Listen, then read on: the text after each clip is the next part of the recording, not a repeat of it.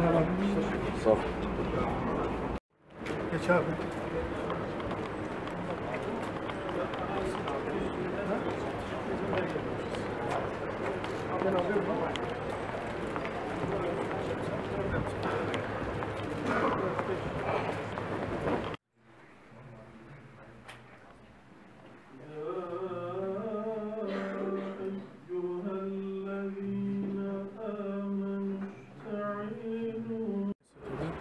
Biz de işte Ankara'ya e, yeni göreve başladık.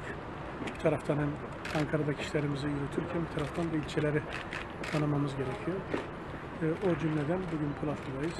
Polatlılarla tanıştık. Polatlı'nın e, sorunlarını genelde hem Polatlı'yla tanışma hem etrafı görme, sorunları dinleme gezileri bunlar.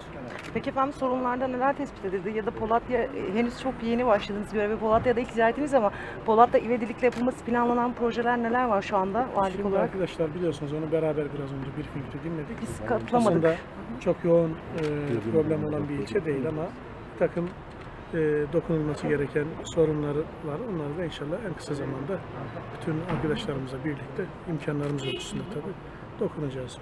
Efendim bir